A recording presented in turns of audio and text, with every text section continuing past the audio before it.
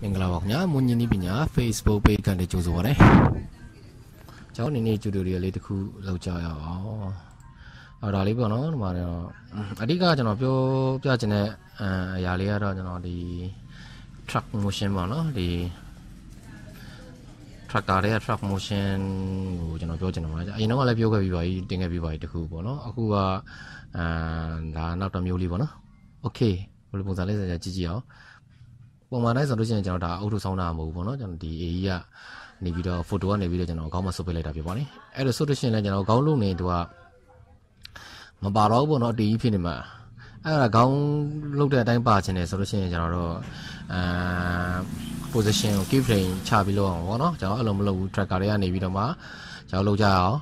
အရင်တော့ကတော့ကျွန်တော် tracker နေပြီးတော့လုပ်ပြခဲ့ပြီးပါပြီအဲ့ဒါကတော့အဲတစ်ခုတည်းပေါ့နော် frame တစ်ခုတည်းကိုလုပ်တာဖြစ်ပါတယ်အခုကတော့ကျွန်တော် click တစ်ချက်ထနဲ့အားလုံး frame အပြည့်ပါအောင်လုပ်မှာဖြစ်ပါတယ်ကျွန်တော်ကြည့်ကြည့်အောင် review ကြည့်ကြည့်ရင်ကျွန်တော်ပုံစံလေးပေါ့နော်ခေါင်းလုတ်သွားတဲ့အတိုင်းမှာပုတ်ထုတ်လေးလဲလဲရွေ့သွားတဲ့ပုံစံလေးပေါ့နော်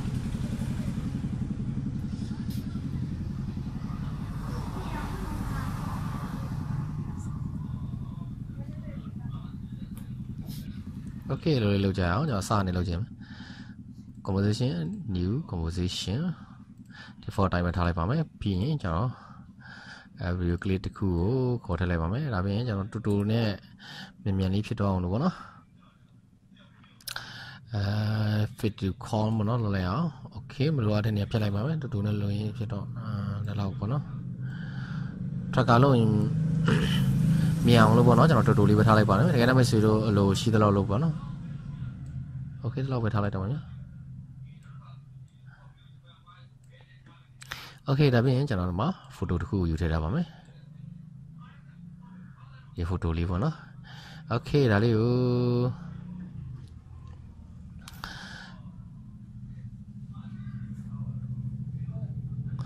ကျောင်းဒီမှာပန်တူးလေးနဲ့ဖီဖီယူပြီးတော့ white ထားလိုက်အောင်ဗျာဖြတ်လိုက်အောင်ပေါ့နော်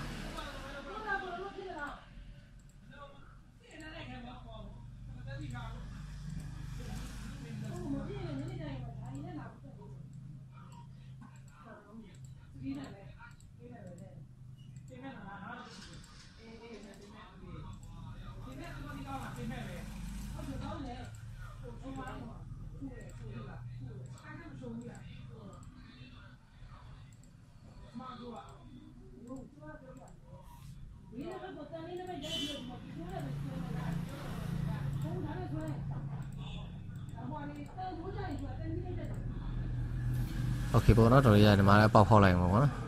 ဖောက်လိုက်ပါဘော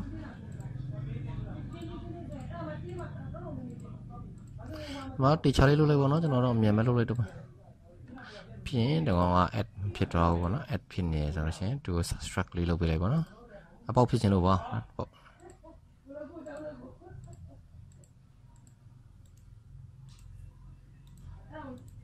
ပြင် add ညမှာ subtract ပေါ့နော် okay ဒါဆိုရှင်ကျွန်တော်တုံးလို့ရပါပြီအဲဒါလေးကိုကျွန်တော် scale ကို short လိုက်ပါမယ်ဒါကြောင့် keyboard ပေါ် s ကိုနေလိုက်ပါမယ် scale ကို short တုံးလိုက်ပါမယ် okay ပြီးရင်ကျွန်တော်နည်းနည်းချက်လိုက်ပါဦး ဒီနောက်လောက်ထိပဲထားလိုက်မယ်ကျွန်တော် split လုပ်လိုက်မယ်ဗျာ split လုပ်ပြီး delete လုပ်လိုက်အောင်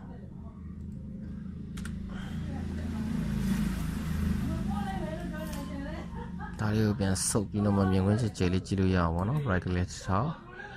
turn on toward area ပေါ့နော် okay ဒါလိုနေထားရှိပါလေ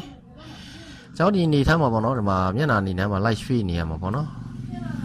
ကျွန်တော်တို့မှာသွားရင်လည်းသူစကားပြောရင်လည်းမပါတော့ဘူးပေါ့နော်အတေးကြီးဖြစ်နေပေါ့နော်ဒါကိုကျွန်တော် key frame ချတော့မှာဖြစ်ပါတယ်အဲ့ဒါကို key frame တုံးကျွန်တော် track ကားနဲ့တုံးကြည့်အောင် okay မျက်စိနေရာမှာလေးကျွန်တော်ချလိုက်အောင်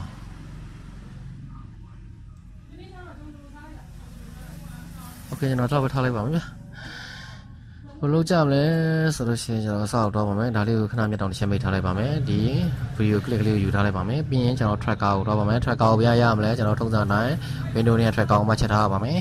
ဒါမှဒါမှပုံမှာဖြစ်ပါတယ်ပြီးရင်ဒီ selection လုပ်ထားပါမယ်ပြီးရင် tracker ကိုတစ်ချက်နေလိုက်ပါဒါဆိုရင်ဒီမှာ track point လေးပေါ်လာမှာပေါ့နော်ဒီ track point လေးကျွန်တော်နည်းနည်းချက်လိုက်ပါမယ်ဒီ track point လေးကိုအရင်တော့ကတော့ကျွန်တော်တို့လုပ်ခဲ့တာပေါ့နော်ဒီอืมနေရာတနေရာလေးချချပြီးလို့ရှိရင်သူ့ရဲ့ ဒီမှာပေါ့နော်ဒီ analyze one frame forward ကလေးတစ်ချက်နေမဲ့ပြီးရင် frame လေးကိုလိုက်ရွှေ့တော့ဟာလုပ်ခဲ့ပေါ့နော်ကျွန်တော်အရင်ကကျူတိုရီယယ်မှာအခုကဒီ analyze one frame forward ကိုမလုပ်ဘဲနဲ့ပေါ့နော်ကျွန်တော်တို့ဒီ analyze forward ပေါ့နော် frame အားလုံးကိုတစ်ခါလုပ်လိုက်မယ်ပေါ့နော်ဒီ click တစ်ချက်ပဲနေရမှာပေါ့နော်အဲတော့ကျွန်တော်လုပ်ခဲ့တာ click တစ်ချက်တစ်ချက်နေပြီးစိတ်ကြိုက်လုပ်တော့ပေါ့နော်အခုကတော့သူဆွမ်းနိုင်တဲ့လောက်ကိုလုပ်ပြီးမှဖြစ်ပါတယ်အဲဒီ click တစ်ချက်နေရမှာပဲဒါပေမဲ့သူ့ကိုနေရမယ့်နေရာကကျွန်တော်တို့ point တစ်ခုလဲပေါ့နော်တင်းတင်းရှားရှားလေးရှိတဲ့ point တစ်ခုလေးကိုထားလိုက်ပါမယ် ဘာထားမလဲကျွန်တော်တို့ message ပေါ့နော်ဒီနေရာလေးကိုကျွန်တော်ချက်ချစ်က center ကြားနေရာလေးကျွန်တော် point လေး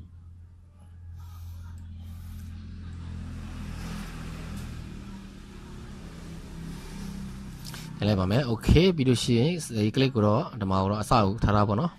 ပြီးရှင်ဒီမှာ analyze for ကို click ချက်နေလိုက်ပါဒါဆိုရင်သူကသူ auto လောက်တော့ပြီးလိုက်ပါမယ်သူဘီနာအဆက်ရွေ့ရင်ရွေ့တဲ့တိုင်းတော့စင်တာဖမ်းပြီးတော့လိုက်သွားတာပေါ့နော် tracker ပါကျွန်တော်လှုပ်ရှားမှုတွေကိုလိုက်ပြီးတော့အဲတရားတဲ့ပါစေချင်အောင်လုပ်တဲ့အရာလေးပေါ့နော်